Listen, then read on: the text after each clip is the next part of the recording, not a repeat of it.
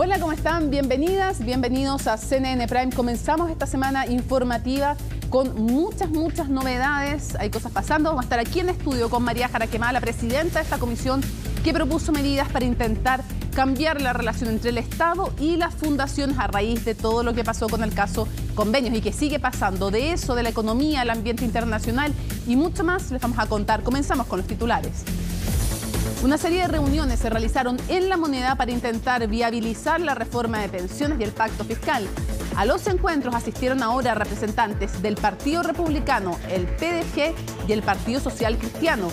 Desde las colectividades manifestaron reparos con el destino del 6% de cotización adicional que propone el Ejecutivo. 46 medidas propuso la Comisión para la Transparencia creada por el gobierno tras el caso convenio. La instancia entregó su informe final y en él destacó la creación de una ley general de transferencias. Respecto a las irregularidades en fundaciones, el presidente Boric dijo que se debe sancionar con rigurosidad a quienes han sido responsables, sean del color político que sean. La presidenta de esa comisión va a estar aquí en CNN Prime. El Colegio de Profesores ratificó el inicio de un paro indefinido desde mañana. Esto tras reunirse con el titular de Educación, Nicolás Cataldo, con el objetivo de abordar las demandas. La autoridad comprometió una nueva respuesta al petitorio docente que va a ser entregada mañana. Y en temas internacionales, la justicia de Estados Unidos fijó para el 4 de marzo el juicio contra Donald Trump por el intento de anular las elecciones de 2020 el día elegido corresponde la jornada previa al supermartes, cuando se van a efectuar las primarias en ese país. La defensa del exmandatario había solicitado que el proceso se iniciara en abril de 2026. Todo esto y mucho más, aquí comienza CNN Prime.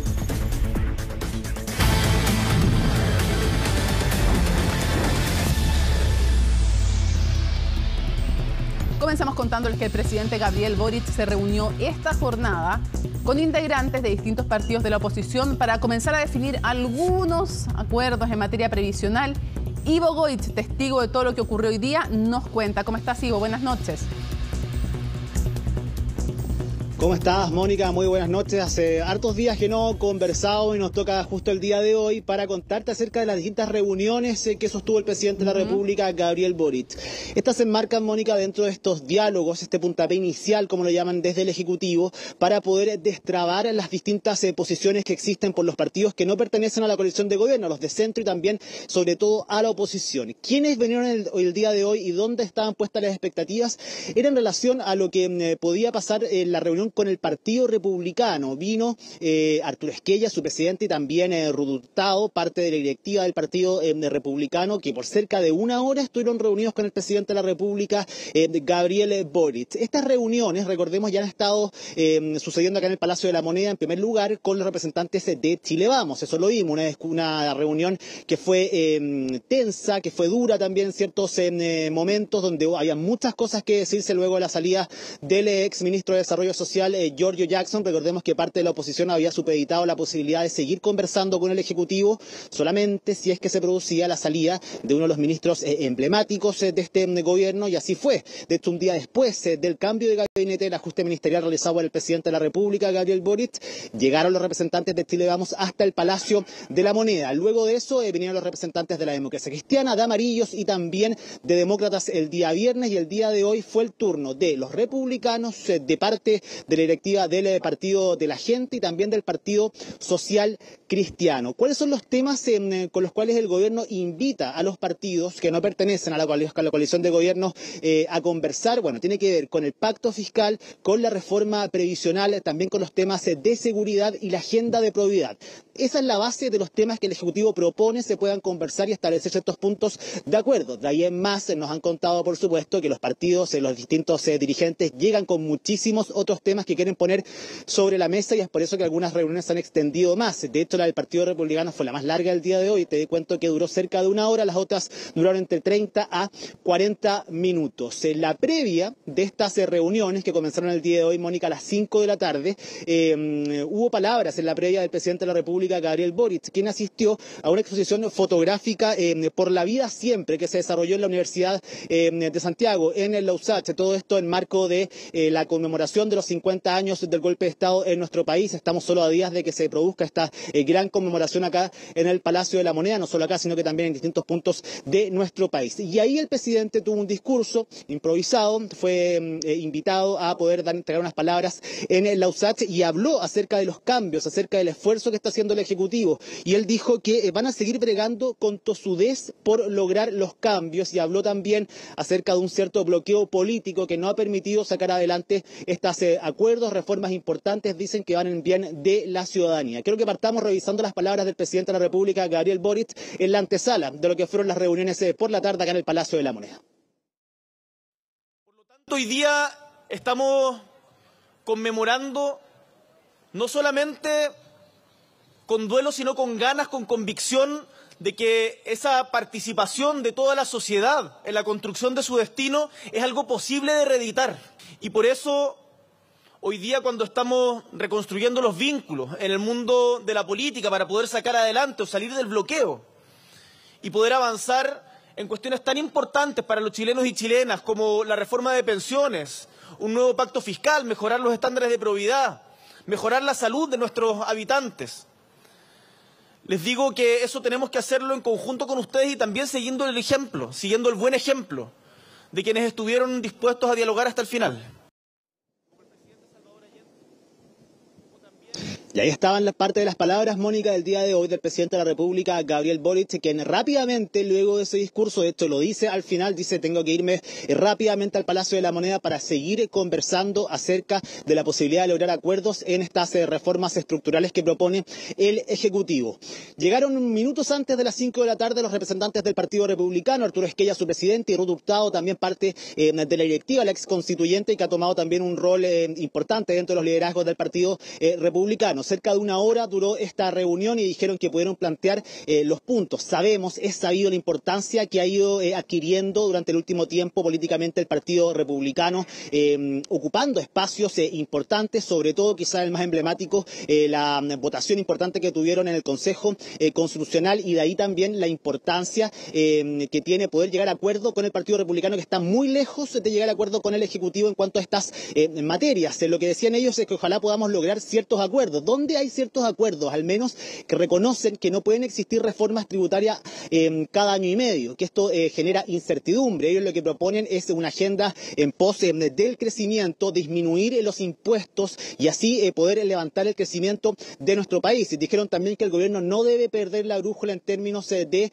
seguridad en el país, que los temas de terrorismo, de crimen organizado, de delincuencia son una prioridad para el, para el país, para la ciudadanía y dicen que no van a innovar en términos de pensiones en relación al destino del 6% de cotización adicional. Eh, recordemos que la propuesta del Ejecutivo, la que se conoce, es un 4% que vaya eh, para un fondo mm, solidario y el otro 2% a capitalización individual luego de una gran ronda de reuniones que se ha desarrollado eh, y pese a que este 6% del Ejecutivo en principio quería que fuera destinado completamente a solidaridad. Le pudimos preguntar a la salida de esta reunión al presidente del Partido Republicano, Arturo Esquella, si es que el Partido Republicano se va a seguir sumando a las mesas de diálogo de las cuales se bajaron eh, durante los últimos días desde el mes de julio, pese a que han participado solamente con expertos. Ellos dicen, ¿por qué seguimos participando con expertos? Porque queremos saber de primera fuente qué es lo que se habla en estas eh, reuniones. Bueno, ellos se terminaron bajando a fines eh, del mes de julio, justo antes de que mm, renunciara el exministro de Desarrollo Social, Giorgio Jackson, y vienen entonces al Palacio de la Moneda a poder hablar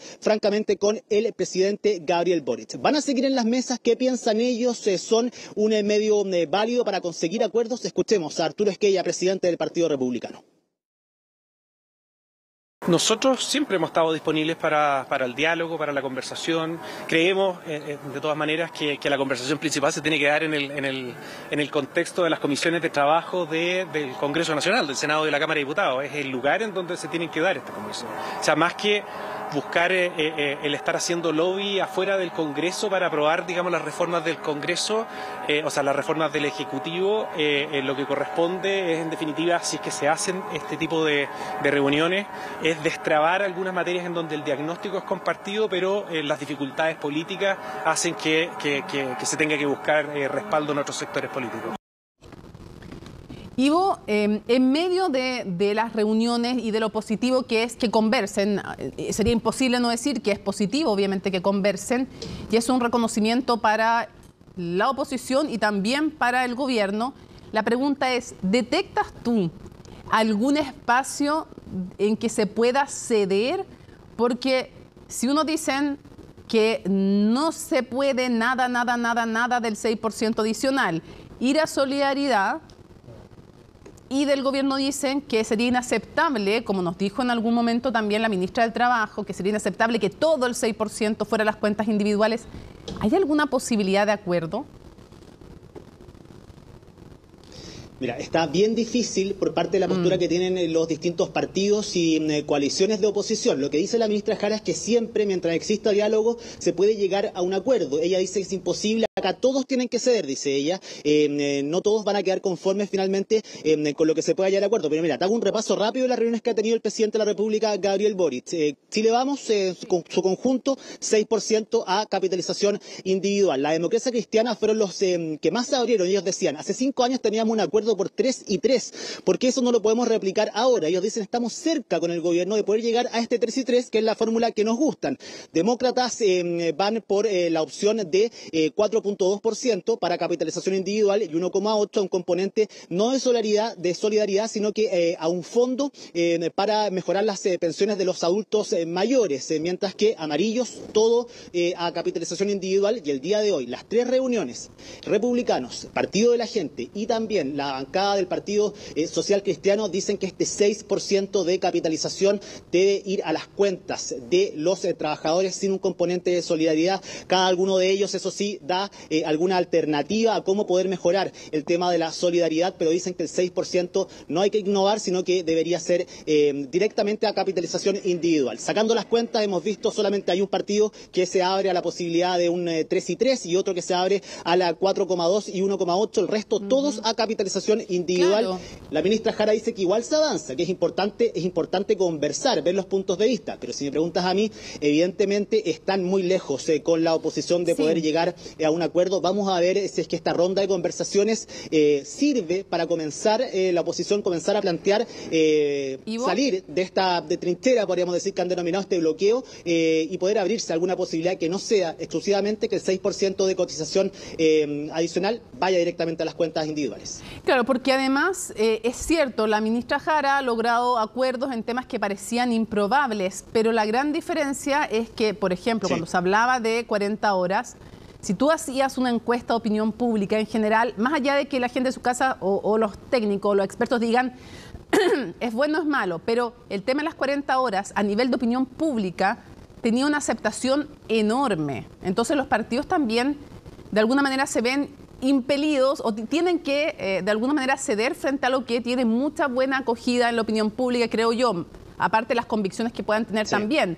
Pero en el caso de la capitalización eh, individual o la solidaridad con este 6% adicional, eh, muchas veces se les dijo también que eh, en los retiros estaban teniendo una derrota cultural desde la izquierda y desde el centro también, o la centroizquierda, porque probablemente ese fue el momento en que se afirmó más la idea de me salvo yo y los ahorros son míos y la plata es mía y por lo tanto el tema de la solidaridad hoy día tiene menos respaldo de lo que tenía ante los retiros, creo yo, sin duda alguna. Entonces, a nivel de opinión pública no existe esa, esa presión que podrían tener los parlamentarios de oposición para llegar a un acuerdo, porque mm, al menos no es lo que dicen las encuestas. Ahora, ¿es siempre, tienen que seguir las encuestas siempre los políticos?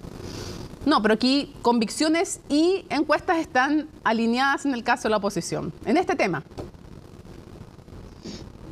Sí, al menos eh, van eh, alineadas y ellos dicen no se van a mover eh, de ahí, vamos a ver qué propuesta hace el Ejecutivo, el Ejecutivo que ya corrió un poco su margen, corrió la cerca a dejar un 4% para solidaridad y un 2% para capitalización individual, algo que no convence a los partidos de oposición. Desde el Partido de la Gente, Mónica, quiero que revisemos las palabras de Juan Marcelo Valenzuela, quien es parte de los técnicos, de la mesa técnica del PDG que ha participado de las distintas reuniones en términos de pensiones. Ellos dicen 6% de capitalización individual, que vaya directamente a la cuenta de los trabajadores, pero proponen la creación de un fondo que se pueda preocupar de la solidaridad. Pasemos a escuchar eh, qué fue lo que propuso el PDG en términos eh, de pensiones y a la vuelta revisamos también las eh, declaraciones de la ministra Jara.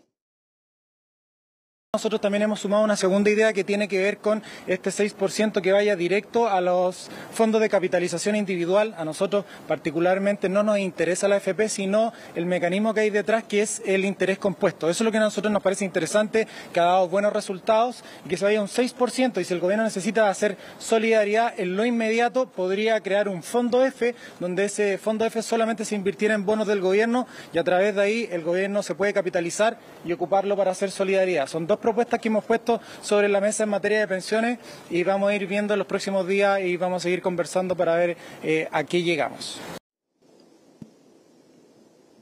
Mónica, y tú lo decías, eh, van alineadas las, eh, lo, el sentir, lo que piensa la ciudadanía con eh, la posición que está adoptando en estos momentos en la oposición, pero hoy en la mañana la ministra Jara hace un punto muy importante en lo que puede suceder este año y que puede explicar también este tranco rápido que está llevando el Ejecutivo, que sea el mismo presidente de la República quien esté dando el puntapié inicial a estas reuniones con los partidos de la oposición y con el centro que no están alineados con las coaliciones de gobierno. Y tiene que ver que en el mes de diciembre nos vamos a ver enfrentados nuevamente a una elección. Y cada periodo eleccionario, hemos visto los últimos, ha polarizado aún más el debate. Lo que quiere el Ejecutivo es que cerrar, poder cerrar los acuerdos meses antes de que se produzca esta elección. No queda mucho, es en el mes de diciembre, a mediados del mes de diciembre vamos a votar finalmente lo que emane desde el Consejo eh, Constitucional. Y ellos dicen que si dejan estirar mucho este tiempo, este debate también se puede ver envuelto en lo que va a ser esa elección. Además, la ministra Jara decía que llevar de ese 6% a la capitalización individual podría mejorar las pensiones recién en 30 años. Estas son las percepciones que, con las que termina la ministra Jara el día de hoy estas reuniones. Pasemos a escuchar. Es muy importante tener a la vista que si hacemos una reforma en la cual todo el 6% va a capitalización individual, las pensiones no van a subir hasta 30 años más. Cada punto que nosotros le restamos al Seguro Social significa que las pensiones suben menos ahora y eso también hay que tenerlo eh, a la vista. El desafío que tenemos los que estamos en política es ceder todo y acercarnos. Esto no se trata de seguir buscando los puntos en los cuales nos diferenciemos. El partido, el, eh, perdón, el, país ya ha estado 10 años eh, con una pérdida de capacidad de acuerdo en este tema, con un bloqueo político que a las únicas que le afecta son a las personas que hoy día están jubiladas.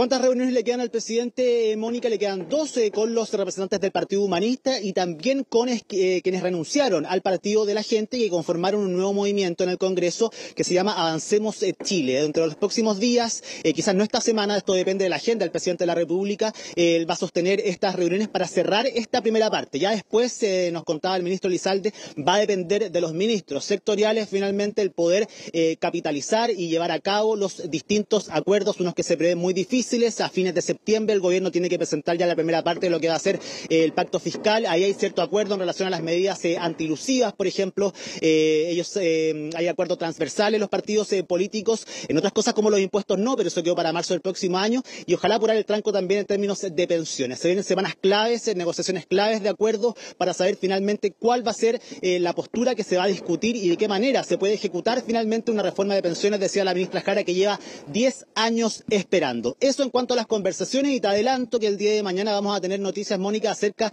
de la agenda del Ejecutivo, acerca de la conmemoración del 11 de septiembre, los 50 años eh, del golpe de Estado. Vamos a tener más detalles mañana acerca de cómo van a ser las conmemoraciones acá en el Palacio de la Moneda el día 11 y también eh, ver el despliegue de ministros en los días eh, anteriores. Así que el día de mañana vamos a tener mayor claridad acerca de, del plan que tiene el Ejecutivo para un día que ha sido importante, que quizás, si me preguntas, no va a ser y no ha sido con la envergadura que les hubiese mm. gustado hace algunos meses. Bueno, el eh, contexto político ha sido eh, difícil para sacar adelante y ha evidenciado una polarización eh, que no se veía antes. De hecho, muchos hablan que se ha retrocedido en términos de discurso, al menos cuando se habla de democracia, y ha costado poder sacar adelante una, mm, podemos decir, un discurso oficial acerca de la posibilidad de condenar las violaciones a los derechos humanos producidas a raíz del golpe de Estado del 11 de septiembre de 1973. De hecho, ni siquiera se ha alcanzado un acuerdo en poder firmar firmado esta declaración conjunta que el presidente establecía algunos mínimos comunes. Así que lo de mañana también va a ser importante para saber finalmente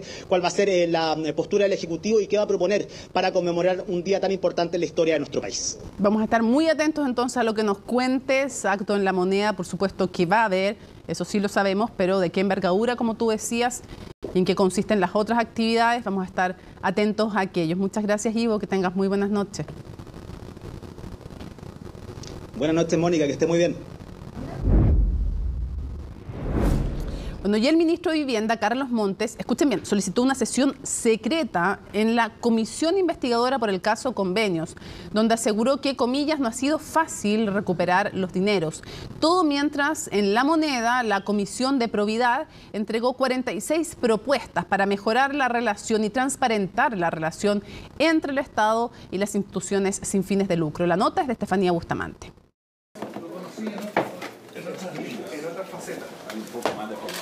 Dos cajas y una carpeta para cada parlamentario. Nada le podía faltar en su encuentro con la comisión investigadora por el traspaso de fondos a fundaciones. Y si quieres le mostramos la caja, si tiene mayor inquietud. Es que no debía quedar ninguna inquietud ante la alta convocatoria, hasta ese punto, claro, porque luego el ministro hizo una especial petición. Quiero decirle, presidente, de que por las características de la exposición, quiero pedirle que al final de mi exposición hubiera algunos minutos de, eh, de sesión secreta porque tengo información que no puedo entregar públicamente. 45 minutos de sesión secreta, según el MIMBU, para no vincular personas con hechos todavía no comprobados. En el debate público, Montes detalló que se han restituido 294 millones de pesos y que aún faltan otros 90 millones. No es fácil recuperar los dineros, pero ya hemos recuperado una parte del dinero y en los otros casos perdón, y en este caso, en el caso de Democracia Viva, se paró el proceso. En otros casos, donde hay situaciones de riesgo, estamos viendo cuál es la situación de riesgo. Hay por lo menos cinco casos más que se ha pedido restitución de, de dinero porque las cosas no se han hecho bien. No ha sido fácil la restitución de fondos, como tampoco el ánimo que marcó el inicio de la comisión donde citaron a Montes. Hay muchos miembros de su partido que están siendo cuestionados por hechos de corrupción. Eso es inaceptable. Mi voto es en contra de esta censura censura que fue presentada por la diputada RD Erika Ñanco para sacar de la presidencia a José Miguel Castro, puesto que su esposa integra una empresa que arrendó hoteles como residencias sanitarias al Estado vía trato directo. Existe un claro conflicto de interés. El diputado Castro, durante el año 2021, recibió a través de su señora y su empresa Corlaet la suma de 513 millones vía trato directo por parte del Estado hacia esta empresa hotelera. Si fuera por casos de corrupción, usted tampoco podría estar sentado aquí. ¿Por qué? Porque su partido lidera el ranking de corruptos en Chile. Sí, pero estamos viendo esta investigación de diputada. Estamos viendo su investigación de la corrupción de su partido. Orden, por favor. Un llamado al orden y pasar la página de la crisis que también se produjo en la moneda. En el Palacio de Gobierno precisamente culminaron los 45 días de trabajo de la Comisión de Probidad que entregó 46 propuestas para mejorar la regulación entre el Estado y las instituciones privadas sin fines de lucro. Con el buen funcionamiento de las instituciones se va a llegar al fondo y se debe sancionar con rigurosidad a quienes han sido responsables de ellas, sean del color político que sean, sean del gobierno central o de gobiernos regionales, sean de este gobierno o de gobiernos anteriores. Entre las sugerencias está una ley general de transferencias, aumentar los estándares de control a corporaciones municipales y regionales, además de establecer obligaciones a las instituciones sin fines de lucro, como sus antecedentes básicos y su financiamiento. La corrupción no puede evitarse del todo en ningún lugar, pero sin duda se puede hacer más difícil. Yo creo que si hubiéramos tenido eh, las propuestas o recomendaciones implementadas, probablemente no estaríamos viendo tantos casos, no habrían proliferado tantos casos todas las medidas previas que se pudieron haber tomado fueron insuficientes eh, y aquí fue una combinación de cosas. Eh, yo creo que lo más importante, como lo señaló el presidente, en el momento en que se tomó conocimiento de esto, se han tomado todo tipo de medidas y se han ejercido todo tipo de acciones. Acciones que desde el Congreso serán lideradas por la SECPRES, que entregará el itinerario sobre los proyectos a discutir con los parlamentarios. Porque aquí hay medidas de carácter administrativo, otras de carácter legal, hay proyectos actualmente en tramitación respecto a los cuales vamos a presentar indicaciones. Hay nuevos proyectos de ley que se van a presentar también a tramitación al Congreso Nacional. Estamos viendo todas las eh, investigaciones penales ¿eh? y, y mientras el Ministerio Público avanza en esa diligencia, nosotros vamos recogiendo esos avances y así verificando si se constituyen o no delitos en eso. Nuevas acciones penales aún por verse, mientras que en el Ministerio de Vivienda el ministro detalló que su investigación interna identificó al menos siete fundaciones con posibles irregularidades, entre ellas posible conflicto de interés y desvío de recursos. Bueno, lo habíamos anunciado, se encuentra para conversar de este y otros temas la presidenta de esta instancia y directora además de Chile Transparente, María Jaraquemada. Muchísimas gracias por estar con nosotros, María. Gracias, Mónica, por la invitación. Si tuvieras que resumir para que la gente entendiera, porque obvio que no vas a poder pasar y la nota bien lo explicaba además en general las medidas más importantes, pero ¿qué es lo central que propone como medida? Son 46, pero lo central que propone, lo más importante que propone eh, esta comisión que trabajó en el tema yo te diría que es tener un marco regulatorio mínimo y común. Es decir, cada transferencia que se haga desde el Estado, no importa si es desde el gobierno central, un municipio o un gobierno regional, tenga unos mínimos comunes que nos garanticen a la ciudadanía el buen uso de los recursos públicos y que haya menos discrecionalidad también en la toma de decisiones. Y dentro de ese marco, Tal vez es la ley de transferencias lo más importante, es subir los montos que están exentos de ciertos controles. ¿Qué es lo más relevante dentro de las medidas? Yo diría que nosotros creemos que se tienen que establecer unos mínimos comunes que hoy en día no están. Hay leyes especiales que sí los tienen, las subvenciones en educación, eh, las transferencias que se hacen a los organismos colaboradores del ex Sename a raíz de los escándalos que hubo en el Sename. Claro, tuvo que pasar eso. Exacto, pero en general no hay un mínimo común que, por ejemplo, sea como el símil a Chile Compra. Nosotros acá estamos pensando que cada transferencia que haga el Estado tenga que tener unas mínimas garantías. Por regla general, que haya concursabilidad. Si es que no hay concursabilidad y hay asignación directa, tiene que ser calificado, fundamentado, justificado, que hayan garantías de las instituciones que participan. O sea, boletas de garantías para que se pueda recuperar claro, que se pueda recuperar el dinero en caso de... Exacto. Eh, que las transferencias, los pagos se hagan parcializados y de acuerdo a cumplimiento de ciertos hitos, que haya experiencia previa, por ejemplo, ciertos requisitos como experiencia previa que haya transparencia y rendición de cuentas. Hoy en día hay rendición de cuentas, pero se le rinde a cada entidad, esa información no es pública. Entonces, que haya también más estandarización. Yo creo que al final del día, en lo que se pueda, se deberían de uniformar procedimientos, normas, criterios, etcétera. Pero es que uno te escucha y parece de sentido común, pero también parece como básico que eso existiera. O sea, ¿cómo no existía lo que estás mencionando? Cuando son recursos de todos los chilenos, de todas las chilenas, en un país además que no tiene tampoco, ni si tuviera tampoco, que no tiene para andar tirando la basura en el fondo eh, dinero, donde hay muchas necesidades sociales. ¿Te asombró que no existiera o es, eh, es alarmante que no haya existido esto? La verdad que es alarmante y por otro lado lamentablemente no me sorprende porque en todo lo que tiene que ver con integridad y modernización del Estado, nosotros quizás siempre vamos un paso atrás y vamos reaccionando. Entonces, allí donde no hay escándalo, allí donde no se ve que haya un problema, eh, adoptamos una regulación que el año 2003 quizás era muy pionera, muy revolucionaria, revolucionaria, pero el año 2023 ya no lo es. Entonces, efectivamente... Estábamos al debe definitivamente. Estábamos al debe definitivamente. Y en muchas cosas, nosotros lo dijimos en el informe y se lo dijimos hoy del presidente de la República. Parte de nuestras propuestas la tomamos del trabajo de otras comisiones que nos antecedieron. Hay algunas de la Comisión Engel, hay otras de la Comisión de Gasto Público, de los consejos de modernización del Estado. Entonces hay una tendencia cada vez que hay un escándalo de corrupción en nuestro país a reaccionar ahí frente a eso y por otro lado pareciera que no se implementan tampoco todas las medidas que se proponen en el momento en que está ese escándalo. Estoy pensando en varios para atrás. No se implementan todas las medidas siempre y tenemos una, tenemos una actitud reactiva. Ahora, mirando el vaso medio lleno, mirando el vaso medio lleno, eso es bueno en el sentido de que efectivamente acá se hace, generan cambios y se fortalecen las instituciones. En la mayoría de los países de América Latina eso ni siquiera ocurre. Mm. ¿ya? Y nosotros Chile es un ejemplo en ese sentido. El problema es que una vez que ya ocurren esos casos, el daño a la fe pública ya está hecho. Hay encuestas que ya están mostrando el daño que hay hacia la sociedad civil. Y hoy en día hay alrededor de 50 eh, fundaciones, corporaciones investigadas y son más de 300 mil en nuestro país. Entonces, la verdad es que es un puñado comparado con el universo. Pero el daño que se genera es muy grande. María, eh, los gobiernos regionales y la autonomía presupuestaria para ellos, anunciada ya el año pasado, ¿es sustentable?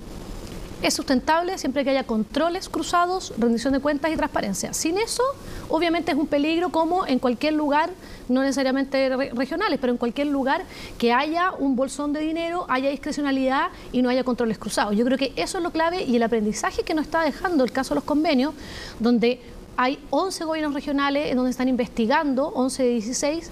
Eso nos tiene que dar la señal de que si nosotros vamos a generar ese cambio, efectivamente tenemos que generar los controles cruzados para tratar de impedir que eso ocurra, porque la corrupción, impedirla del todo es imposible, pero sí podemos minimizarla bastante. ¿Van a seguir las transferencias directas? ¿Van a seguir las transferencias directas? ¿Ustedes no proponen terminar con ellas? No, no, no, no. no.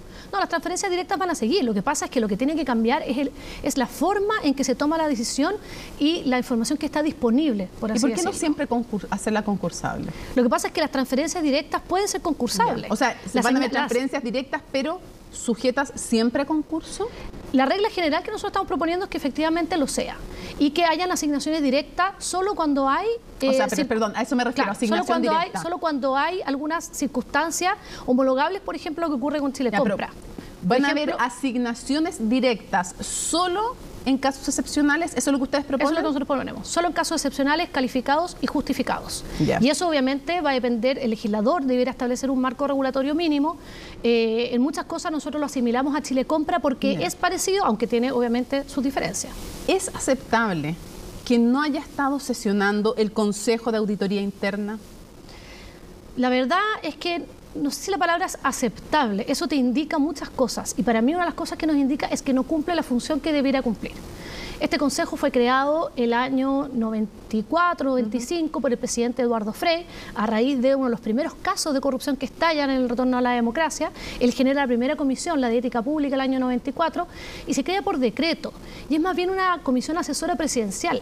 Pero la auditoría, lo que hemos conocido hasta el día de hoy, que la auditoría para que funcione tiene que tener cierta autonomía de, quien, de aquel a que audita. Entonces, la verdad es que esa comisión no cumple con los estándares hoy en día para el objetivo que se requiere. Pero eso no impide que la verdad es que sí debería haber estado sesionando, porque independiente de que no tenga la autonomía necesaria eh, ni los dientes necesarios, igual puede cumplir un rol asesor bastante relevante. Es, em, ¿Fue una buena medida el hecho de que se eliminara cierta cantidad de información que se entregaba por decisión de este Consejo? Mira, yo lo que he hablado con personas más expertas que yo en estos temas me dicen que en los casos que hoy se están investigando habría sido difícil detectarlos con esa información porque muchos de ellos tienen que ver con tráfico de influencias, posible tráfico de influencia, conflictos de intereses, organizaciones que no tenían la trayectoria previa. Y eso con esa información no se notaba. Lo que sí se podía quizás eh, em, relevar con esa información es cuando no se habían hecho las rendiciones de cuenta necesarias, etcétera. Entonces, efectivamente, yo creo que fue una decisión que podría haber ayudado a tener mejor control, pero yo creo que muchos de los casos que hoy en día estamos viendo probablemente se hubieran producido de igual modo. Pero no fue una buena decisión no, yo creo eliminar que no fue una buena decisión. cierta información no, que yo creo que mientras más información eh, y que más o sea, no fue buena decisión. Yo creo que no fue una decisión, pero no tengo la certeza, por lo que me han dicho personas que saben más que yo este tema, de que se podrían haber detectado, prevenido esos casos efectivamente, que es lo que busca la auditoría, es prevenir pero entonces, ¿por qué no fue bueno eliminar esa información para que la gente lo entienda en sus casas? Porque finalmente cuando tenemos un sistema tan discrecional, mientras más información tenga de control de que algo está fallando y no se está cumpliendo, habría servido mucho más. Ahora, el tema es qué hacemos con los gobiernos regionales también y con los municipios. Yo creo mm. que ahí efectivamente tenemos que pensar que hayan sistemas de auditoría internos dentro de esos gobiernos descentralizados que también levanten las alertas y eso es una de las propuestas que también hacemos. Ahora, ustedes también proponen... Eh, proponen varias cosas, pero uno se pregunta también, ¿qué importancia tiene que en, estos, en este y en otros casos haya sanción penal finalmente después de que se encuentran y se desatan los escándalos de corrupción, María, porque si no, de nuevo, la fe pública tiene la sensación de que se hacen comisiones, se modifican cosas, que muy bien que se modifiquen, pero respecto a los que ya cometieron actos de corrupción, que no hay sanciones. ¿Qué importancia tiene que estos casos, el caso convenios, en su vertiente de gobierno central y en su vertiente de gobiernos regionales, terminen con sanciones penales efectivas. Muy importante. la impunidad no puede existir, porque de hecho una manera de controlar la corrupción es a través de la justicia y la sanción. Y no puede haber impunidad en estos casos. El año 2018 costó, pero el año 2018 se hizo una reforma a los delitos de corrupción donde se aumentaron las sanciones. En algunos casos, a nuestro juicio no fueron suficientes, pero se aumentaron debiéramos ver el efecto de eso hoy en día. Y sin duda que el problema que hay es que cuando estos hechos se generan hacia atrás, uno queda con la frustración de que efectivamente las sanciones son bajas respecto de las propuestas que nosotros hagamos que, si se implementan, van a operar hacia el futuro. ¿Van a ver lo que ustedes proponen? Eh, ah, pero antes de preguntarte lo que ustedes proponen, ¿por qué te lo digo? Porque ya lo, en el caso Mopcate se hicieron reformas, pero también se hizo un acuerdo político para que los sobresueldos, el Servicio de Impuestos Internos dijera que no eran tributables. O sea, los sobres con plata no eran tributables, ese fue un acuerdo político. Después, financiamiento ilegal de la política, y vemos que se terminan las querellas, se decide terminar con las querellas de parte del Servicio de Impuestos Internos, amarran de mano al Ministerio Público. Aunque hubo cambios también. Entonces ya tenemos dos ejemplos claros en los cuales a través de acuerdos políticos finalmente, tácitos o explícitos en algunos casos, hay impunidad. Yo hoy no veo al menos que haya intención de un acuerdo político de impunidad. Lo que sí puede ocurrir, y es lo que nos ha ocurrido muchas veces, es que efectivamente nuestras sanciones penales de delitos de corrupción muchas veces son menores a cinco años y un día y por lo tanto no son penas mm. efectivas.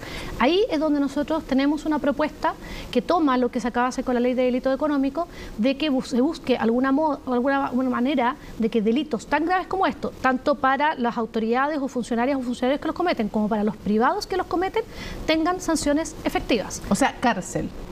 Que la corrupción se sancione, con, se sancione con cárcel. Yo no estoy diciendo 10, 15 años, quizás no, pero si se va a dar una condena de dos años, debería ser efectiva porque te muestra la evidencia los estudios, lo mismo que en la ley de delito económico, que esos, ese tipo de delitos en general tienen irreprochable conducta anterior. Y ese tipo de delitos, la cárcel sí es un gran desincentivo, aunque sea un año. Entonces yo creo que efectivamente la señal tiene que ser muy clara y muy contundente. María, no es muy limitado que el trabajo de la comisión se haya restringido al tema fundaciones. No hay ¿Qué pasa con todos los otros espacios donde se da corrupción y se sigue dando en nuestro país?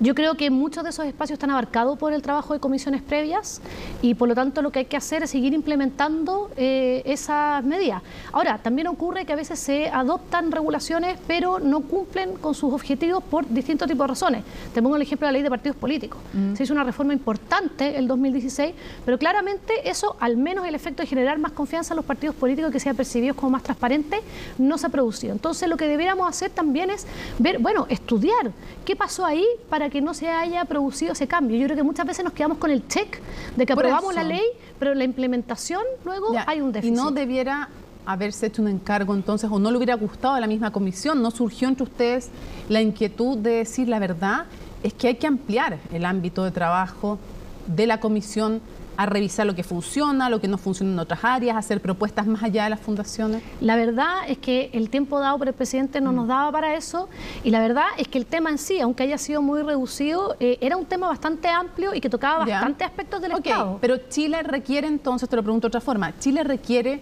una nueva comisión que abarque todos los espacios donde hay todavía forados importantes, legislaciones no implementadas para trabajar el tema de una agenda y empujar una agenda anticorrupción más amplia? Yo creo que Chile lo que requiere efectivamente es tener estrategias de integridad constantes y permanentes y que ojalá sean agendas de Estado y no de gobierno.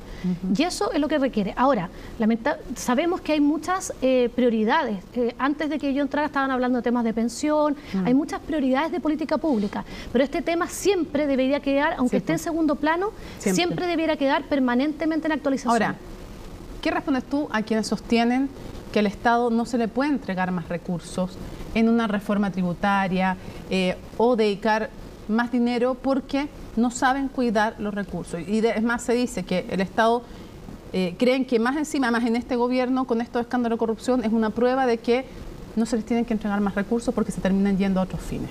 Y que la gente también piensa eso. Yo creo que es imprescindible se le den más recursos o no al Estado, es imprescindible que nosotros modernicemos el Estado y que a las personas se les dé la garantía de que los recursos van a estar bien resguardados. Obviamente puede haber personas que siempre traicionen esa fe pública, pero tienen que ser los menos que los más. Y cuando eso ocurra, sanciones contundentes y medidas de prevención, Mónica, para que eso no ocurra, porque al final del día lo que más importa y lo que nos marca la diferencia con los países que están mejor que nosotros en la lucha contra la corrupción es la prevención. No Mm. tanto la sanción, fíjate. Hay países desarrollados que tienen quizás sanciones más bajas que las que tenemos nosotros, pero porque no llegan a esa etapa, Mm. o son muy pocas las veces que llegan y a esa etapa. aplican. Y cuando llegan, las aplican. cuando llegan, las aplican. con un par de temas que tienen que ver con el proceso constituyente, porque en el proceso constituyente eh, se había propuesto de parte de los expertos que el financiamiento fuera solo público, tanto para los partidos como para la que las campañas. Entonces se dejaba el público solamente Sí. en la constitución, lo cual implicaba una imposibilidad de dejar de crear ninguna ley que permitiera el financiamiento privado. Se ha hecho una enmienda que pretende eliminar la palabra pública y por lo tanto no es que cree el financiamiento eh, privado, pero lo deja la ley. Entonces, ¿qué te parece más adecuado? Dejar en la constitución que campañas y partidos solo se financian a través de lo público o no. En mi opinión personal, yo no regularía eso en una constitución, lo dejaría a una ley y que sea el Congreso que lo decía. Pero esta, esta discusión se tuvo hace muy poco y fue consecuencia de casos eh, de corrupción y de financiamiento ilegal a la política. Muchos países en la región han avanzado en el mismo sentido que nosotros, a prohibir el financiamiento de empresas a la política. sino de personas. O sea, el financiamiento privado se refiere de empresas. De empresas. Y que solo las personas. Y se dio toda una discusión y fue aprobado de manera unánime por todos los partidos políticos que estaban representados en el Congreso en ese Ya. momento. Yo no veo razón para cambiar eso, no veo ningún antecedente, ninguna evidencia, nada me da a entender que lo que se decidió el año 2016, a raíz Ya, de los entiendo, casos o de sea, financiamiento ya. ilegal, haya que cambiar Mantendrías en la ley que solo las em- que solo las personas y no las empresas puedan ser fuentes de Exacto. financiamiento privado para la política y los partidos. Cierro con lo siguiente. Hubo una preocupación eh, manifestada por el Contralor respecto de las enmiendas que él dice le quitan desde su perspectiva atribuciones a Contraloría y él dijo incluso que supone que es algo fundamental para la lucha contra la corrupción y él dijo esto puede poner incluso en peligro la democracia. ¿Te parece que son equivocadas las enmiendas que tienden a ser colegiada la Contraloría, diluir también el poder en Contralorías regionales y otras medidas? Mira, sobre eso hay una discusión importante y está bastante dividida la opinión. Eh, y por eso mismo, en mi opinión, yo escuchando personas que saben más de este tema, eh, yo tendría mucho cuidado con la colegiatura. Eh, y yo creo que esto no es eh, blanco-negro y no es ciencia exacta, ¿ya? Y hay opiniones para ambas, ambos aspectos. Pero creo que hay que tener mucha, hay que tener muy claro que la Contraloría es un órgano bastante ejecutivo, que tiene que tomar decisiones constantes y muy rápidas, y por lo tanto hay que tener cuidado con no ralentizarlo. Y otro, otra cosa que hay que tener cuidado es que efectivamente, si se va a colegiar, ese nombramiento responda a altos estándares de personas autónomas y que tengan las competencias y no vaya a ser que cuotemos políticamente a una entidad y que finalmente los dientes que tiene se los quitemos. Entonces, entiendo la preocupación, pero esto no es algo que sea como tan claro y patente. ¿Es suficiente lo que se ha hecho en corrupción en el proceso constituyente o también nos vamos a quedar al debe? Hay buenas propuestas de la comisión experta y hay otras que están reforzando de los distintos, eh, de, de- de- de hecho, de las distintas bancadas que vienen a reforzar algunas de esas situaciones. Nosotros como Chile Transparente hicimos varias propuestas, varias, varias de ellas fueron recogidas, así que yo espero, creo que en esto hay bastante como más consenso, así que yo espero que efectivamente se avance. Eh, espero que no nos quedemos con el estándar de hoy, que es un estándar que se hizo el año 2005, ya llevamos casi 20 años de eso y por lo tanto hay mucho más que avanzar y yo espero que ese espíritu que vimos en la comisión experta y hemos visto con algunas enmiendas se mantenga. María, muchísimas gracias por habernos acompañado en CNN Prime. Gracias a ti. Seguimos avanzando para contarles que luego de las lluvias e inundaciones que afectaron desde O'Higgins hasta el Biobío, las autoridades estiman que los daños a campos y cultivos llegarían a mil millones de dólares. Orlando Silva nos cuenta por qué los trabajos de recuperación se deben realizar en tiempo récord y cómo además podría afectar a nuestros bolsillos. Reconstruir los sistemas de riego, las bocatomas dañadas y reconstituir el cauce de los ríos desbordados.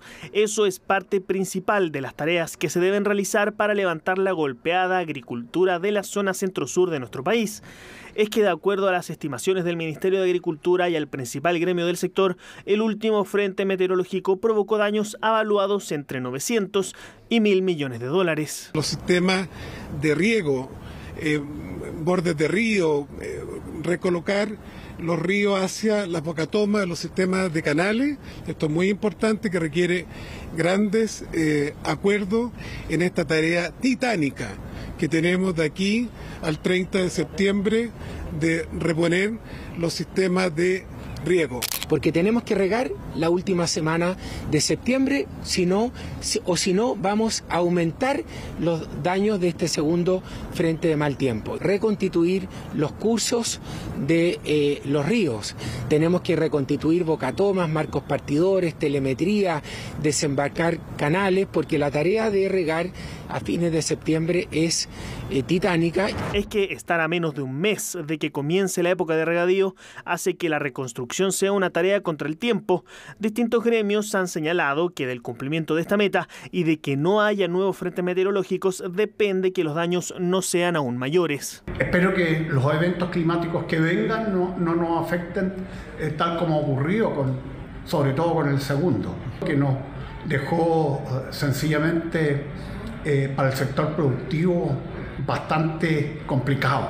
Si no tenemos eh, los canales funcionando, las bocatomas, ¿no es cierto? y no hay riego, puede ser pérdida total. El daño actual, además de atacar a la parte radical por la asfixia que produce el estar debajo del agua, también ataca, ataca la parte aérea, porque como tú bien decías, estamos en la época de floración, la lluvia bota el polen de, la, de, la, de las flores y eso hace que la abeja o a través del también polen que se, que se transfiere por el viento de manera natural sea menor. Todo esto provocaría además nuevos aumentos de precios en distintos alimentos, entre ellos la papa. Si durante julio fue el producto que más subió, algunos ya proyectan que en el IPC de agosto el alza en el valor será de 17%. Esto en medio de sospechas del Ministerio de Agricultura de una posible colusión por parte de algunos grandes productores. Y esto es súper preocupante. Mañana comienza la paralización indefinida del Colegio de Profesores. Eso mientras se esperan una nueva propuesta por parte del Ministerio de Educación que debería llegar durante las próximas horas. Se espera que unos 100.000 docentes se sumen al paro, comprometiendo a más de 5.000 establecimientos a nivel nacional con niños y niñas que se van a quedar nuevamente sin clases. Los detalles en el informe de Macarena Román.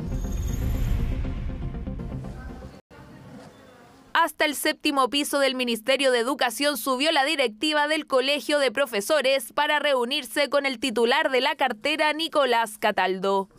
Yo tengo un top, que es tener un WhatsApp en cero. Ah. Meta que se le ha hecho cada vez más complicada al ministro. Su cartera tiene uno que otro problema. Ahora, a partir de este martes, se sumará el paro a nivel nacional y de forma indefinida del Colegio de Profesores. La paralización es una decisión de nuestras bases, de las bases del magisterio, a través de una consulta muy participativa que se llevó a cabo a lo largo y ancho del país y por tanto cualquier propuesta, cualquier respuesta que plantee la autoridad, indudablemente que tiene que ser consultada nuevamente a las bases. El diálogo no detuvo la movilización. Las bases del Colegio de Profesores ya habían determinado por un estrecho margen rechazar las propuestas hechas por el ministro Cataldo, quien envió un documento a solo un día de haber asumido su nuevo cargo. Tenemos conciencia de que nuestra propuesta, la carta que le enviamos la semana pasada, fue una carta que tuvo una buena recepción.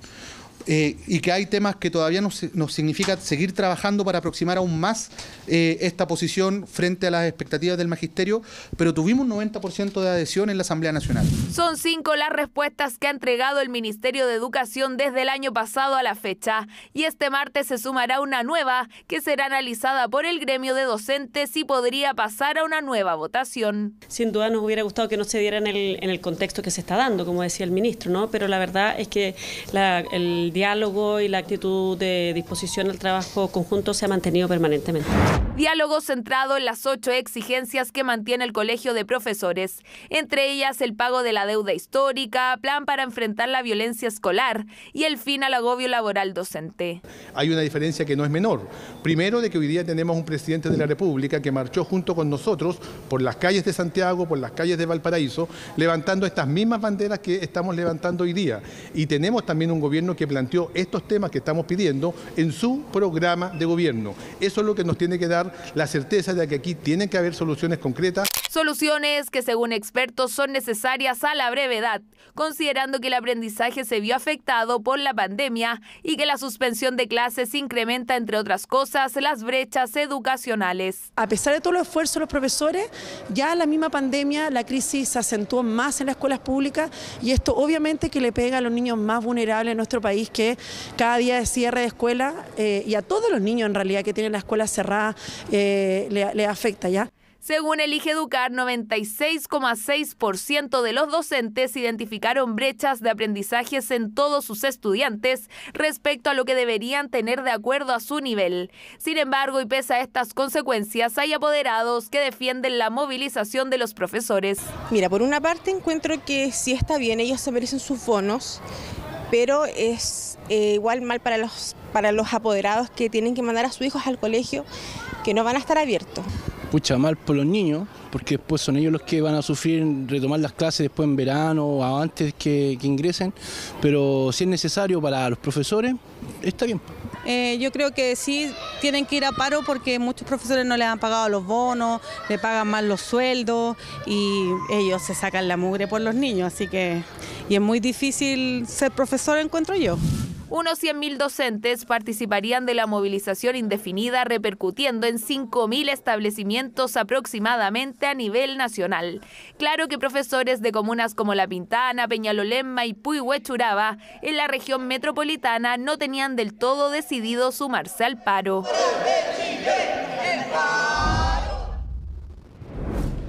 La Corte Suprema rechazó la solicitud del Consejo de Defensa del Estado de prorrogar la visita de la ministra Romy Rutherford en la investigación por el fraude en el ejército. El órgano había pedido extender su permanencia por seis meses más. Vamos a ver los detalles en el informe de Valentina Nieto.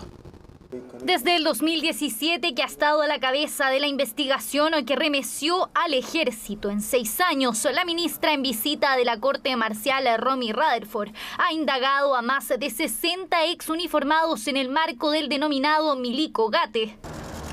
16 días han pasado desde que la ministra Romy Radenford procesara y ordenara la detención del excomandante en jefe del ejército Humberto Oviedo.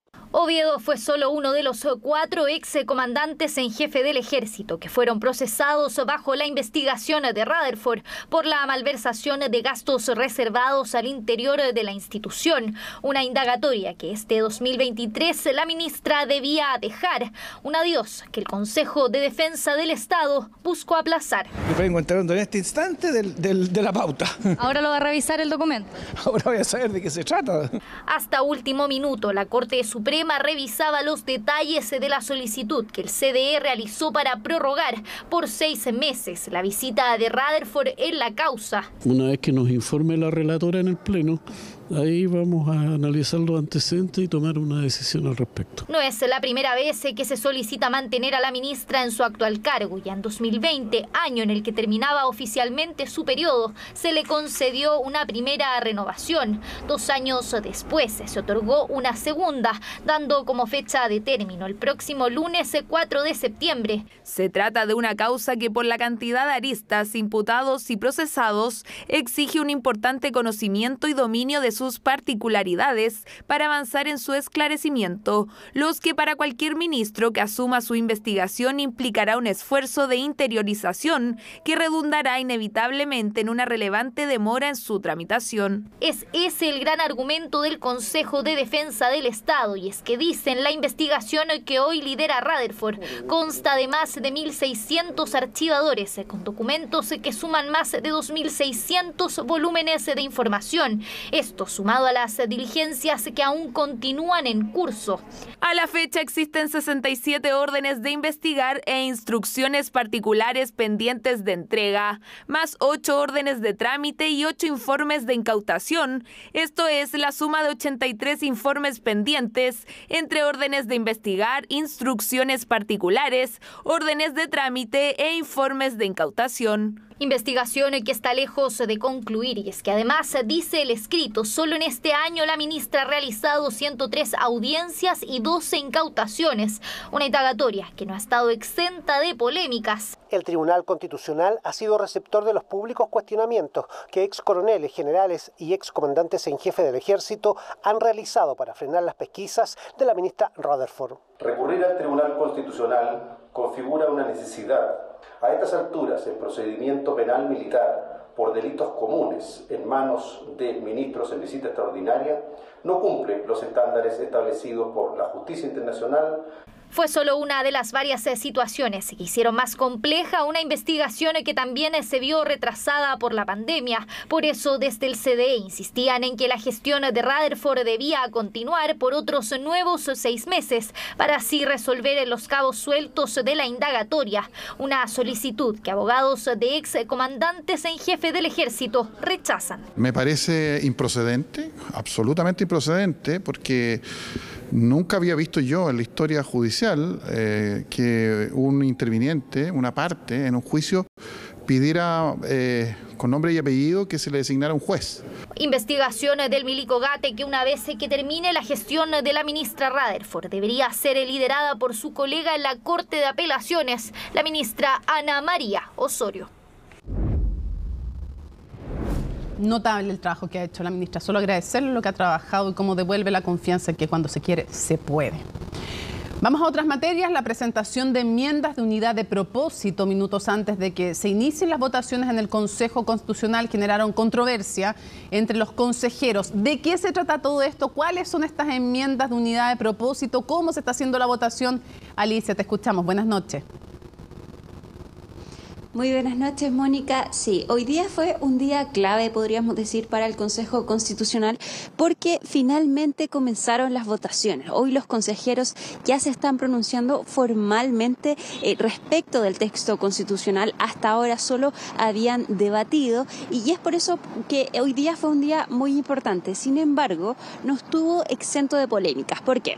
Porque los consejeros decidieron comenzar a, a votar las enmiendas hoy, el miércoles y el el viernes, pero por los temas más fáciles, por los temas donde hay mayor consenso, donde no hay grandes diferencias, algo que el oficialismo eh, cuestionó porque ellos quieren llegar a los acuerdos en los temas más importantes, más sensibles, cosa que hasta ahora eh, no pasa. Decidieron comenzar por lo más fácil, sin embargo, en las comisiones la derecha decidió presentar estas enmiendas de unidad de propósito. ¿Qué son?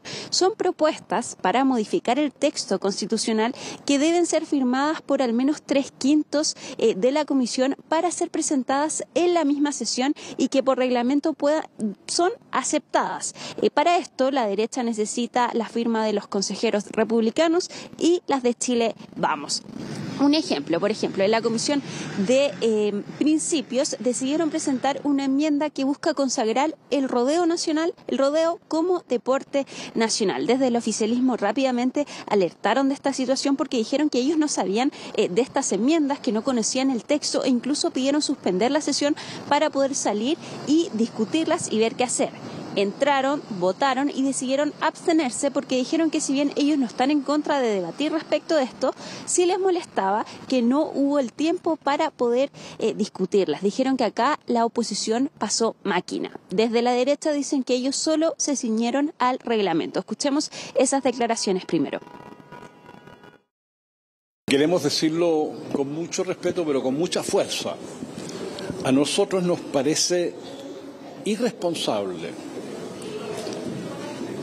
una falta grave a la seriedad del trabajo que se nos ha encomendado, presentar un minuto o dos minutos antes de inicio del trabajo en nuestra comisión para las votaciones eh, enmiendas de unidad de propósito. Estuvimos todo el fin de semana, sábado y domingo, haciendo los mayores esfuerzos para evitar este tipo de situaciones.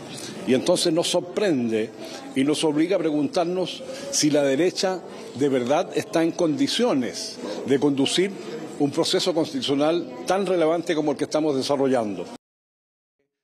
Eh, las enmiendas de unidad de propósito presentadas hoy, eh, ninguna ninguna eh, presenta un cambio sustancial en, los, en, los, en, sus contenidos, sino que busca lograr mejores redacciones en, distintos, en distintas partes del capítulo décimo. En ese sentido, me parece que, que creo que no hay que sobre reaccionar respecto de las enmiendas de unidad de propósito presentadas el día de hoy. Bueno, por supuesto, por supuesto que mientras, mientras más tiempo antes del inicio de la sesión, mejor, pero eso no siempre se puede lograr. Lo importante es que se respete el reglamento y hasta el momento, hasta el momento hemos sido estrictamente respetuosos del proceso del, del reglamento Ahora, esta es una herramienta que la comisión experta fue utilizada y le sirvió de mucho porque lo que permite es el acuerdo previo a las votaciones, eh, que se logre un acuerdo respecto de un texto y que después pueda ser presentado con la firma de todos los sectores para ser votada. Eso sirvió para acelerar el proceso de votación. Sin embargo, ahí habían equilibrios. Una, una enmienda de unidad de propósito necesitaba la firma de la derecha y de la izquierda. Acá este no es el caso. La derecha tiene mayoría y puede presentar una unidad, una enmienda de unidad de propósito con los votos, con las firmas, digo, de Chile Vamos y Republicanos y no necesita el oficialismo. Y eso es lo que reclama el oficialismo. El oficialismo, de hecho, ellos no pueden presentar eh, enmiendas de unidad de propósito porque no tienen los votos. Deberían, eh, podrían convencer a Chile Vamos, algo que se ve bastante lejano. Eso sí, en la tarde, las otras dos comisiones, la situación fue distinta porque ahí efectivamente, si bien se presentaron enmiendas de unidad de propósito, estas fueron presentadas con eh, antelación, con anticipación y los consejeros llegaron eh, sabiendo que qué era lo que iban a votar. De hecho, en la Comisión de Derechos se aprobó por unanimidad las enmiendas de unidad de propósito eh, referidas al medio ambiente. Escuchemos lo que pasó durante la tarde acá en el Consejo. Tenemos que hacer un esfuerzo para lograr la mayor cantidad de consensos posible y lograr que finalmente salga una buena y nueva constitución que sea para la gran mayoría de los chilenos. Probablemente no estaremos de acuerdo siempre en todo, pero vamos a hacer todos los esfuerzos. Por esfuerzo no nos vamos a quedar. Nosotros las enmiendas de unidad de propósito nuestras las presentamos ya hace varios días a, la gente de gobierno, por así decirlo. Se las presentamos hace varios días y ellos la, revisaron, vieron que, les hacía sentido, que no, y nos fueron diciendo cómo podíamos llegar a un acuerdo. Así que ellos sí las conocían y, y la verdad que eso fue muy bueno, fue una buena, una buena estrategia lamentamos profundamente lo que ha ocurrido en el resto de las comisiones donde lamentablemente la derecha y principalmente republicano ha impuesto su mayoría. Creo que es una irresponsabilidad por parte de las derechas que hoy día hayan levantado enmiendas eh, de conjunto, de unidad de propósito, sin haberle dado la posibilidad a este sector que también hubiese estado en conocimiento de esas enmiendas.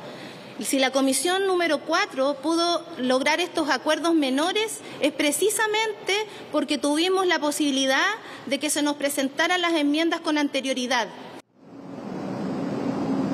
El miércoles entonces siguen las votaciones, ya se espera de eh, temas más complejos. Mañana habrá reuniones para eh, lograr acuerdos. Acuerdos es una palabra que se repite bastante, pero hasta ahora no se ha logrado ninguno. No hay acuerdos respecto de temas importantes, respecto de eh, salud, educación, de la libertad de elección, que es lo que busca la oposición y lo que el oficialismo no está dispuesto a ceder. Así que veremos cómo siguen las conversaciones mañana y cómo se, se traducen en las votaciones del miércoles y del viernes. Claro, hasta ahora de acuerdos nada, porque lo que pueden votar a favor es básicamente en donde no hay cambios respecto del texto anterior, salvo medio ambiente a través de lo que tú nos comentabas, que ahí se dio una negociación previa, pero en el resto no hay ningún acuerdo, salvo lo que se mantiene tal cual de la Comisión de Expertas y Expertos. Lo que hay también es, aquí se debate, después de CNN Prime y después de CNN Tiempo, vamos a estar contigo nuevamente actualizando la información y con consejeros para, y consejeras para debatir de estos temas. Comienza a subir la temperatura de este proceso constituyente. Muchísimas gracias, Alicia. Buenas noches, Mónica. Nos vemos el Ministerio de Salud dio inicio a los diálogos ciudadanos de salud mental, todo esto en la región metropolitana, una estrategia que busca identificar desde la perspectiva de la sociedad civil sus necesidades, expectativas e intereses de legislación en materia de salud mental. De ello nos cuenta Magdalena Fuensalida. Aportar desde la vivencia, ese es el objetivo de los diálogos ciudadanos por la salud mental, convocados por el Ministerio de Salud. Un espacio en el que diferentes grupos entregaron su visión sobre cómo estamos y hacia dónde tenemos que avanzar en salud mental. Falta también mucha atención, salud, en, este caso en, en la Araucanía, profundamente más en las partes rurales, que allá no llegan.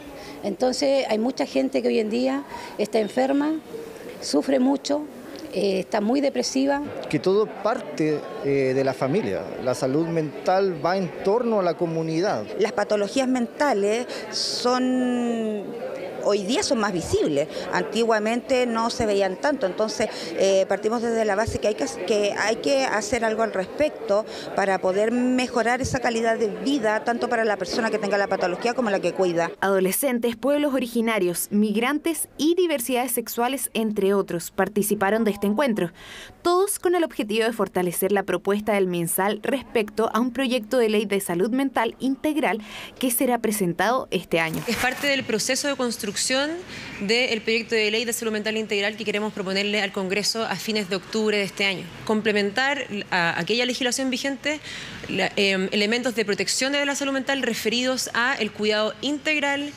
eh, intersectorial que no solo contemple la protección, o sea, la, atención de salud mental para personas que tengan problemas de salud mental, sino que también resguarde la salud de todas las personas que habitan nuestro país en los distintos espacios en que desarrollan su vida cotidiana. Encuentros que estarán liderados por y las Ceremis de salud de cada región del país y se llevarán a cabo entre agosto y septiembre, con la participación de organizaciones, profesionales y educadores, entre otros. Poder tener unos espacios de participación donde sea activa, donde realmente se tome en cuenta, que sea significativa, más no simbólica, creo que eso daría muchos aportes para las políticas y en este caso, bueno, ayudaría muchísimo como insumo a la ley que se quiere hacer desde el punto de vista integral. Si no incluimos a las personas, de alguna manera va a ser lo mismo de siempre, ¿sí? que en el fondo los dejamos como ahí, como eh, segregados ¿sí? y no los vamos a incluir.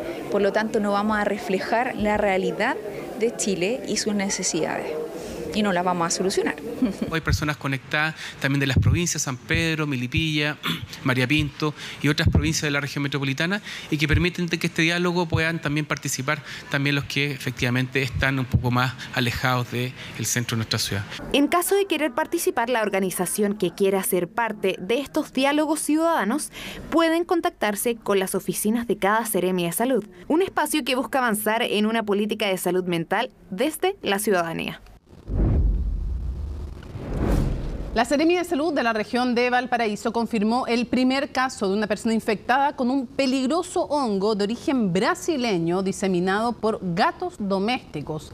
¿En qué consiste y cómo cuidarse de esta afección? Natalia Muñoz nos cuenta, pongan atención son para muchos considerados como parte de la familia, pero un reciente estudio indica que los gatos están amenazados por un peligroso hongo de origen brasileño que los hace portadores con riesgo potencial de contagio humanos. Chile ya reporta el primer caso, una mujer de 59 años que reside en la comuna de Concón y que contrajo la enfermedad de su mascota. Como Seremi de Salud, estamos tomando todas las medidas pertinentes para iniciar la investigación epidemiológica relacionada con esta zoonosis. Los gatos son los huéspedes habituales de esta enfermedad producida por el hongo Sporotrix brasiliensis. La paciente, repito, se encuentra en buenas condiciones, ha tolerado bien el tratamiento hasta ahora. El único problema sí que su gatito no respondió bien al tratamiento y el gatito falleció. El gatito se tuvo que eutanasiarlo. La llegada del Sporotrix brasiliensis genera alerta debido a su rápida diseminación y facilidad de transmisión a seres humanos y otros animales. Los gatos domésticos son los principales portadores de este hongo, que presenta síntomas que aparecen de entre 7 a 15 días después del contagio. En el animal se observan lesiones o heridas en almohadillas, nariz o boca, mientras que en humanos se manifiestan lesiones o úlceras que no cicatrizan y que producen dolor en la zona afectada, generalmente en extremidades. Es un hongo es una levadura y es muy... Eh, eh, para el gato es muy fácil eh, tener muchas levaduras y poder transmitirlas. Generalmente afecta la nariz, puede afectar los ojos o los miembros, ¿ya? Y lo importante es que es una lesión dermatológica ulcerativa, ya se ve como una herida. Este hongo nosotros lo vimos mucho en Brasil, yo trabajé muchos años en Brasil. Nosotros no podemos infectar desde los gatos. Cuando nos entierra una uña, cuando el animal estornuda en nosotros o nos apoya su mucosa en la piel sana. Fue justamente lo que le ocurrió a la primera paciente diagnosticada en Chile. El hallazgo fue realizado por el Centro de Diagnóstico e Investigación de Enfermedades Infecciosas de la Universidad de Valparaíso, donde la mujer de 59 años presentó lesiones cutáneas y aseguró que el gato doméstico tenía las mismas. El gatito era doméstico, vive con, vivía con, la, con su dueña y el gatito salía donde los gatos vecinos a jugar, a, a relacionarse y se infectó. Eso quiere decir que hay otros gatos infectados que infectaron a este gatito que finalmente falleció. México, Brasil y Perú son los países que más declaran casos. Este hongo es el más virulento dentro de su especie. Si bien no se sabe con certeza cómo ingresó a Chile, desde el año pasado investigadores de la Universidad Andrés Bello alertaron casos de gatos infectados en Magallanes. Que los felinos tienen hábitos y dentro de esos hábitos está el arañar los troncos o tapar las heces con sus garras, te fijas, y de allí que un felino podría ser portador del hongo en sus garras. Según este mismo laboratorio, a la fecha se han confirmado 11 casos, 10 gatos y un perro, a los que se suman otros 15 sospechosos de las regiones metropolitana y Magallanes. Tanto en animales como en humanos existe tratamiento con medicamentos antimicóticos. Sin embargo, en personas inmunodeprimidas se pueden generar complicaciones, como una enfermedad osteoarticular, conjuntival respiratoria o neurológica. Las mascotas que fallecen de esta enfermedad de tienen que ser incinerados para que no contamine el medio ambiente. Porque si yo lo entierro en mi patio, va a crecer como una telaraña, que nosotros lo llamamos de micelio. Se aconseja tener a, los gatos, a tus gatos en condiciones indoor, eso quiere decir dentro de la casa, ya evitar que salga. También eh, se recomienda una esterilización a temprana edad. Hasta ahora no se registra el contagio entre seres humanos. En caso de contraer el hongo, la recuperación se debe extender por al menos cuatro meses y en algunos casos puede que no se asegure una buena respuesta. La principal recomendación es mantener a la mascota dentro de la casa, ya que la mayor incidencia del hongo ocurre en felinos machos no castrados con libre acceso al exterior. Ya estamos con Jacinta Molina para revisar todas las informaciones internacionales. ¿Cómo estás? Buenas noches. ¿Qué tal, Mónica? Buenas noches. Estoy preocupada con los gatos y los perros y los Absolutamente, sí. Ya, pues. Hablemos de otra persona que debería estar preocupada, por lo menos no lo demuestra públicamente hasta... Puro haciendo merchandising. Exactamente, protagoniza fotos desafiantes con las que su campaña dice que ha ganado millones, pero vamos a hablar nuevamente de Donald Trump, porque se ha fijado ya fecha para el tercer juicio por causa penal que va a tener que enfrentar el próximo año había una definición pendiente. ¿Cuál era eh, los cargos presentados por intentar intervenir en el resultado electoral a nivel federal en los comicios presidenciales del 2020 y además incitar el asalto al Capitolio? La Fiscalía había solicitado que este proceso comenzara ya en marzo del próximo año y ha sido escuchada. Una jueza ha determinado que este proceso comience recién el 4 de marzo de 2024, pero no es cualquier fecha.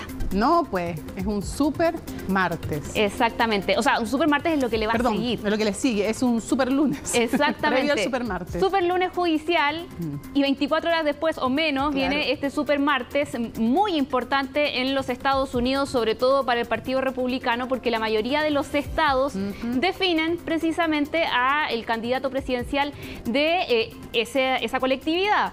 Trump, sabemos, va liderando todas las encuestas y de momento no hay ningún impacto en ese capital político en todas estas causas judiciales, pero no deja de ser que, de cierta manera, entre comillas, el telonero de todo esto sea este proceso judicial. Uno, ¿Por qué? Porque ese calendario en todo caso se viene bastante movido para el ex mandatario.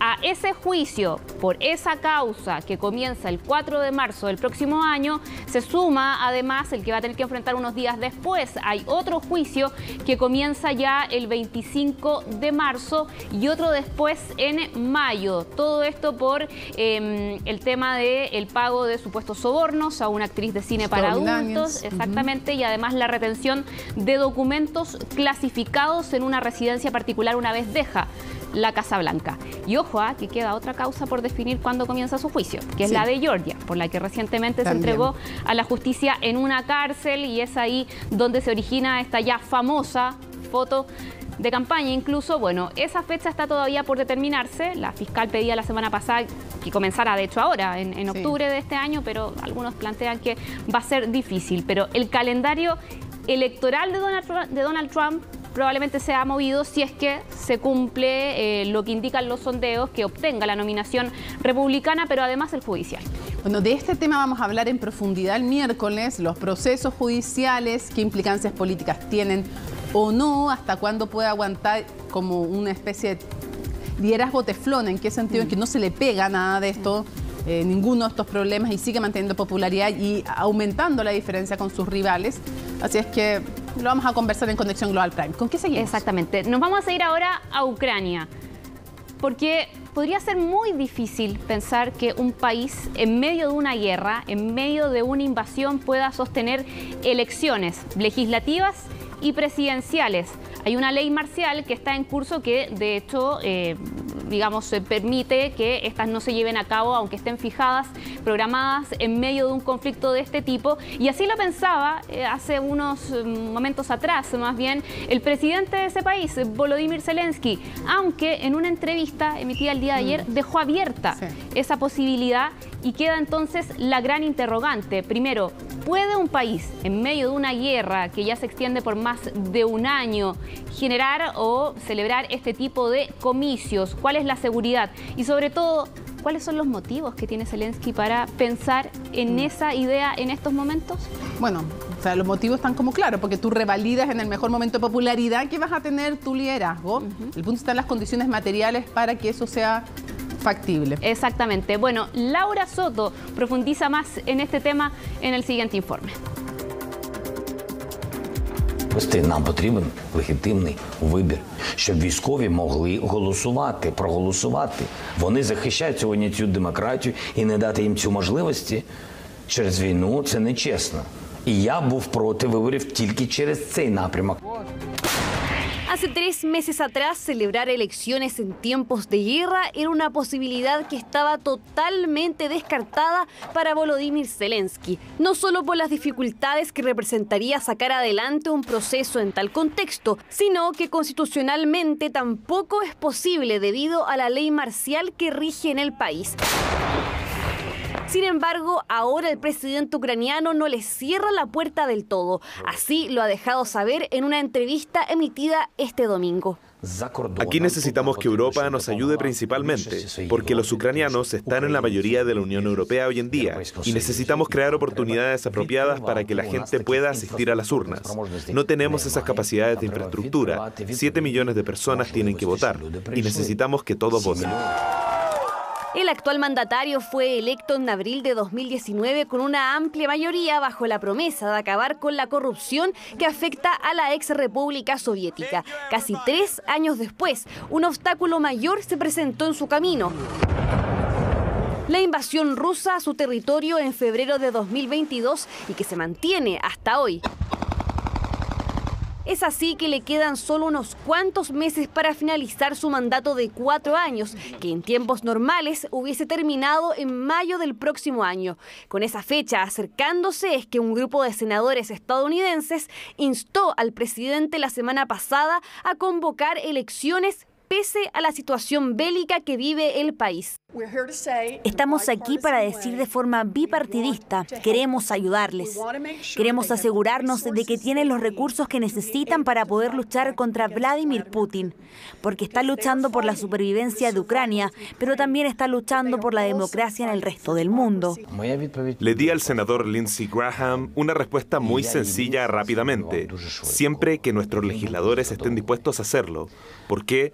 Porque habría que modificar el código electoral. Y es que bajo la ley marcial la constitución ucraniana no permite realizar comicios electorales. Dicha orden expirará el 15 de noviembre, un mes después de la fecha en la que se habrían realizado las elecciones legislativas, pero antes de las presidenciales, que en tiempos normales serían programadas para marzo del próximo año. Aún así, analistas afirman que no serían las presiones externas las que estarían impulsando a Zelensky a sacar adelante los comicios, sino que más bien se trataría de motivos internos. Yo creo que lo que entrega es como un apoyo de legitimidad para alternativas plausibles para salir de la guerra. La otra alternativa, que es una alternativa más doméstica, además de corto plazo, puede ser de que el gobierno ya se encuentre desgastado. ¿no? De hecho, el Zelensky ha hecho algún tipo de rotación, ha sacado algunos miembros de su propio gabinete, requiera un nuevo impulso para una nueva fase de la guerra. Es así que expertos creen que su administración estaría intentando frenar una caída en su popularidad. Un mes después del inicio de la guerra, más del 70% de la población ucraniana aprobaba firmemente a Zelensky, según Estatista. A un año del conflicto, ese índice bajó al 58%. Pero más allá de sus intenciones, ¿qué tan factible es impulsar un proceso electoral en plena guerra? Uno se preguntaría qué es lo que pasa con las provincias que hoy día se encuentran anexadas con Rusia, qué es lo que pasa con un territorio como Crimea que Ucrania considera propio. Eh, no puede aprovecharse una instancia electoral para que la Federación Rusa realice, en fin, un ataque contra centros de población concentrados debido a la elección. ¿Qué pasa más encima con los militares que se encuentran en el frente? Son dudas que todavía son muy anticipadas ante un proceso que recién se está analizando y que necesita el visto bueno del Parlamento ucraniano. Comicios que si lograran llevarse a cabo coincidirían con las elecciones presidenciales en Rusia, en las que se espera que Vladimir Putin anuncie su candidatura a la reelección tras modificar la constitución, en un momento en que el gasto desenfrenado en la guerra y las sanciones han desestabilizado la economía del gigante euroasiático.